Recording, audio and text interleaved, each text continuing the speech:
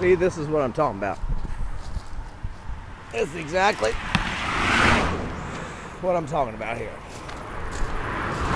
You feel that behind me? There's a bike or something on their side. They're gonna pass it. They ain't stopping. They're gonna come, and they'll come close.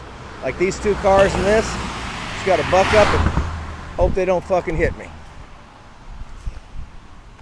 Take a deep breath when that car gets close, cause like fuck, reminds me of football. It's like fuck, here comes the hit.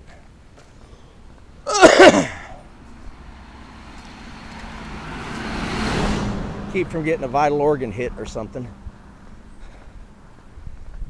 And see, we got into the uh, back into the roadway again. Now I got to get one of them expensive cameras. I can show you some crazy shit on the motorcycle.